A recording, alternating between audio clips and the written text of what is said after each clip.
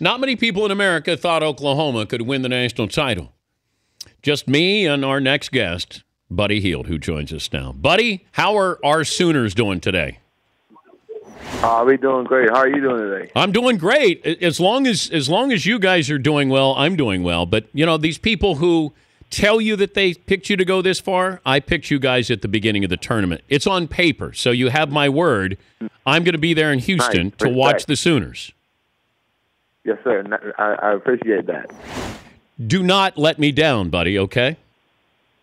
I won't. I won't. I won't. I won't do it for sure. All right. Did you pick Oklahoma to win it all when the tournament started? Uh, you know, I don't feel no back it out, but uh, for sure, I just work with my team, and that's what we're capable of doing. And I know that know that we are capable of doing. So, uh, you know, I have confidence in us all year, all seasons, and uh, and it was the perfect time to get hot again. So, uh, I just have confidence in my team that know we're gonna we're capable of making a nice run. Do you have the green light to shoot whenever you want to? I mean, uh, I won't, I won't say it like that, but uh, I know my team, my co- my coaches give me the confidence to shoot the ball. But uh, yeah, I just, but takes yeah, I have the green light, but just take smart shots when I'm shooting though. I liked it. I like that, that that mentality. Now, did you know Kobe Bryant was there at the game? Uh, you mean that Oregon game? Yeah. Uh, yeah. No, at first I didn't I didn't saw him at first, but then after that, I think that we were in the layup line, and I see everybody just start showing some like putting their phones out, and I was like, okay, only one person you can put your phone out, and I got to be Kobe Bryant because uh, everybody started like yeah, started whispers and like everybody started saying Kobe, and uh, I said at that point I know he's inside the gym, so I, I kind of got happy. Did you talk to him? Uh, uh, after the game. Yeah. Uh, no, I didn't talk to him after the game. I think he, I think he, he, he got up and left. But uh, no, uh, I talked to him at the the, the Duke Oregon game. I guess it was exchanged words with him a little bit, and uh, he no, he was he was cool and everything. What did, did he have words of advice?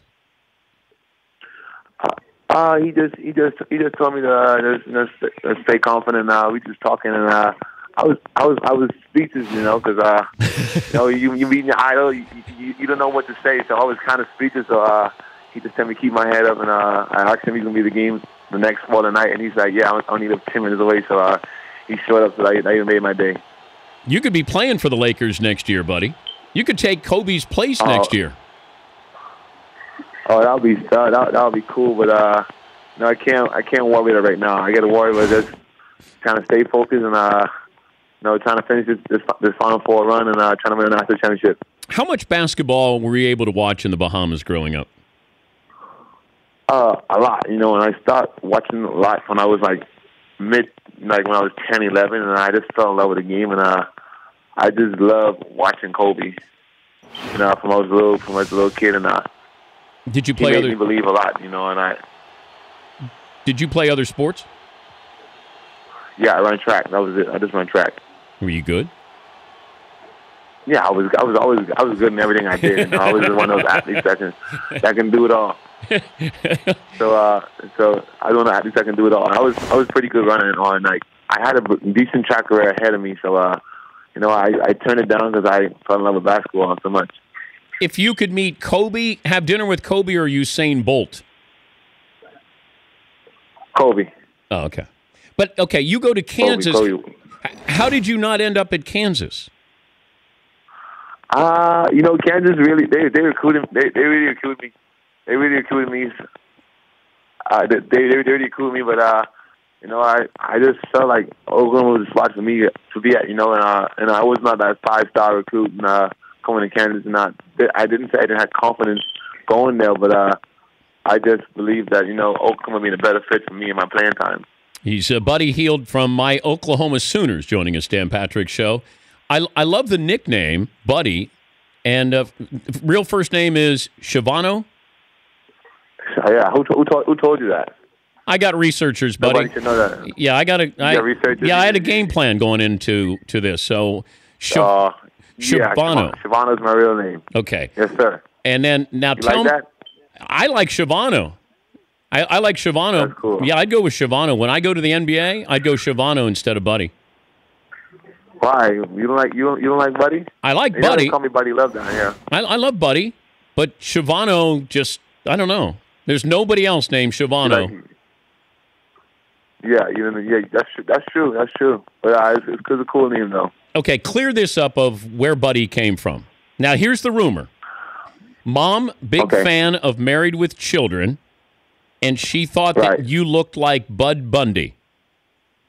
Yeah, I, I, I was I was a red baby growing up. I was really red. Uh, you know, uh, I was really red growing up, and uh, my, my mom, my mom, I was like two months old. My mom and a friend Carol was sitting in the bed, and they saw me, and they was like, "He looks just like Bud Bundy, like Bud." And uh, and it, so uh, and after that, was like, because I was really red growing up, and uh, and after that, they just t- turned into Buddy. So uh, if you talk to my mom, she knows the whole the whole whole story. So uh, that's all they told me about it. And, uh, and after that, they told me uh, Bud Bundy was a, was a, was a white actress, and uh, I know everybody always everybody always tell me that. And it's like, how can you name after somebody who was, you know? So uh, I just was like, you know, I was a red baby growing up, so I'm just so they just changed it to Buddy. So you were red. Yeah, I was like red growing up. I was very red growing up. Have you have you seen the show? No, I, saw- I saw a little of it, just a little. bit. I never watched the show. It's, it's just not my style, you know. I like I like watching all those cartoons and like all those other movies. Uh, it was not my type of show. Uh, good luck next week, and just remember when you're you're playing against Villanova, you're you're playing for me. So think of me when you're out there lighting it up. Okay. Okay. I mean, not that, I'm not asking too much, you. buddy. Oh, I know, I know, I, I know you don't act too much, but I got you for sure, no doubt. He's Chavano Buddy Hield of my Oklahoma Sooners. Buddy, congrats uh, and good luck. Uh, thank you so much. Have a good All day. there you go. Well, we cleared that up. The Dan Patrick Show, weekday mornings on Audience.